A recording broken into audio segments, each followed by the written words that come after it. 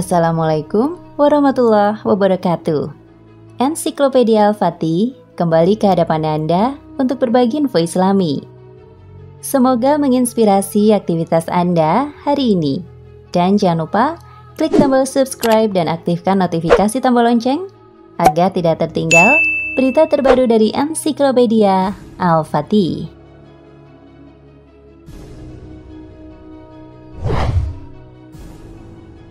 Cobaan yang sering kali dialami para nabi ialah menanti buah hati. Bukan setahun, dua tahun mereka menunggu, melainkan puluhan tahun. Nabi Ibrahim bahkan menanti sampai usia beliau 100 tahun. Hingga akhirnya dikaruniai Nabi Ishak dari istrinya Sarah.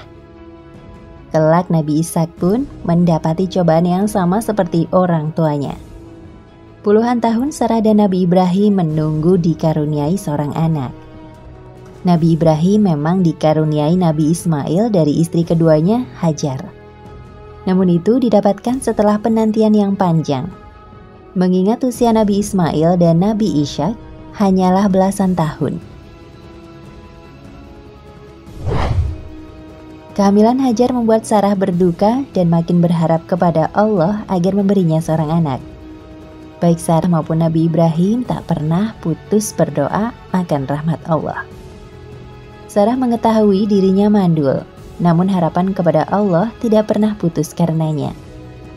Sarah pun bersabar dan menerima takdir seandainya ia tak memiliki anak selamanya. Penantian panjang itu pun baru terjawab ketika usia Nabi Ibrahim telah hampir satu abad. Sarah pun sudah menjadi wanita tua, usianya sudah kepala sembilan. Namun mudah bagi Allah menakdirkan wanita tua lagi mandul untuk hamil dan melahirkan. Takdir membahagiakan itu pun dikabarkan langsung oleh para malaikat. Suatu hari, para malaikat datang dalam bentuk manusia. Mereka bertamu ke rumah Ibrahim. Sang Halilullah pun segera menyiapkan hidangan untuk menghormati tamu. Dipanggangnya daging sapi yang gemuk, lalu disuguhkan kepada para tamu. Nabi Ibrahim baru tersadar bahwa para tamu itu merupakan jelmaan malaikat ketika mereka tak menyentuh makanan yang dihidangkan.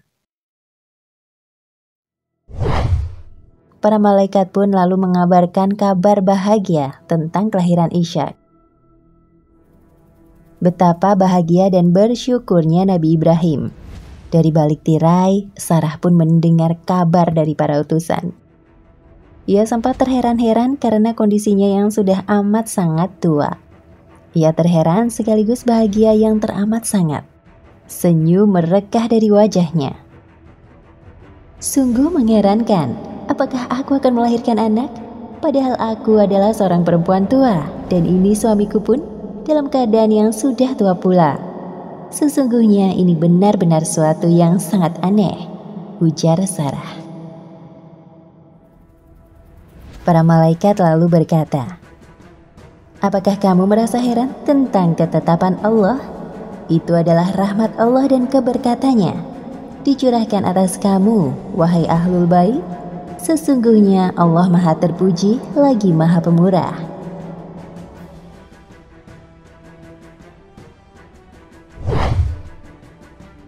Bulan-bulan setelahnya, rumah Ibrahim dipenuhi keceriaan Sarah begitu bahagia mengandung janin di dalam rahimnya.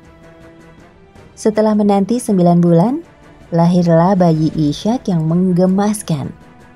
Sebagaimana kakaknya Ismail, Ishak pun mendapat pendidikan langsung dari sang ayah. Pendidikan sempurna dari sang kekasih Allah. Ishak pun tumbuh besar menjadi sosok yang berakhlak mulia, cerdas, lagi berbakti kepada kedua orang tuanya.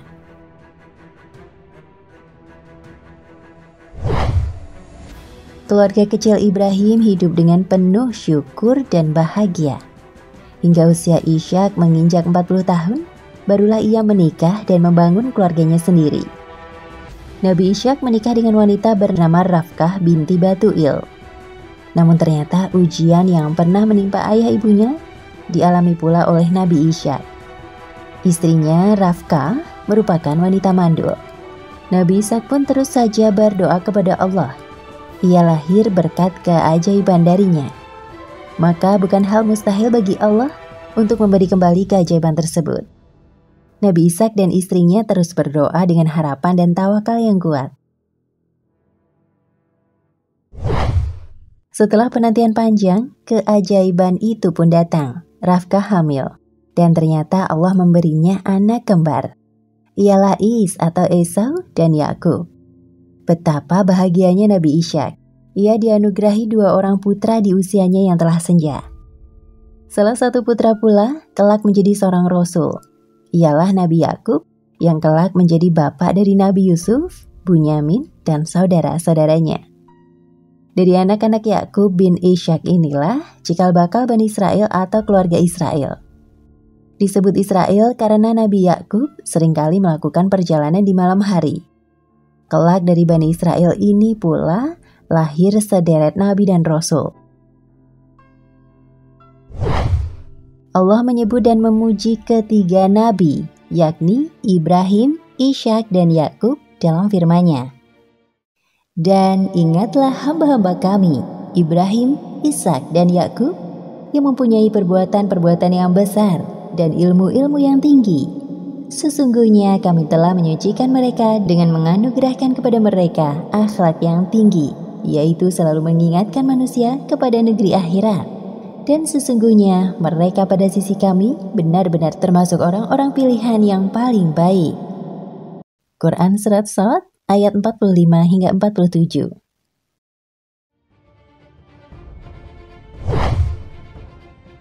Rasulullah juga pernah memuji Nabi Ishak dan anak cucu keturunannya. Meski secara nasab, Rasulullah bukanlah keturunan Nabi Ishak, melainkan Nabi Ismail.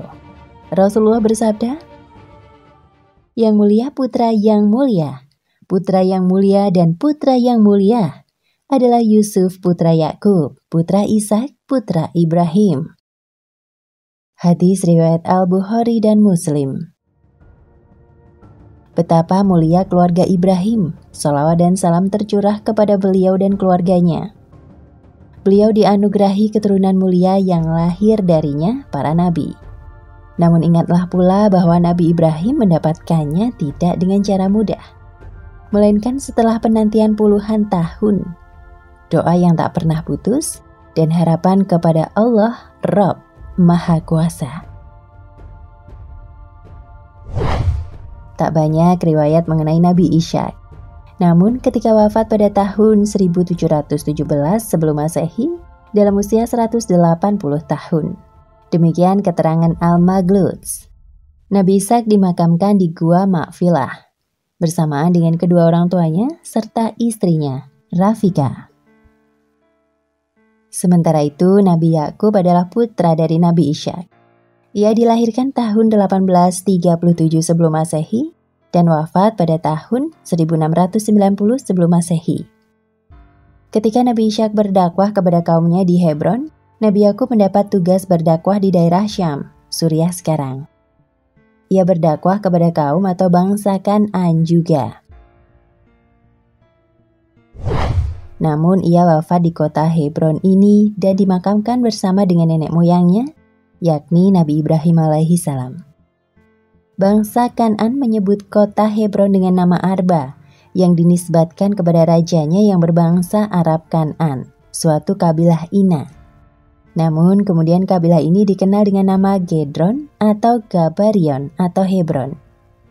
Kota Hebron masuk dalam wilayah pemerintahan Islam di zaman Khalifah Umar bin Khattab yakni sekitar abad ke-7 Masehi atau sekitar 25 Hijriah atau 638 Masehi. Pemerintah Islam berhasil memasuki kota Hebron tanpa perlawanan. Selama masa itu, kehidupan masyarakat berjalan damai dan tentram. Bahkan pusat perdagangan berkembang pesat, khususnya dengan orang Badui di tanah Nagev dan penduduk di sebelah timur dari Laut Mati. Ahli geografi Yerusalem, George A. Makdisi, menggambarkan keindahan kota itu pada tahun 985 Masehi. Nah, pemirsa ensiklopedia Al-Fatih, sampai di sini perjumpaan kita kali ini. Semoga menginspirasi.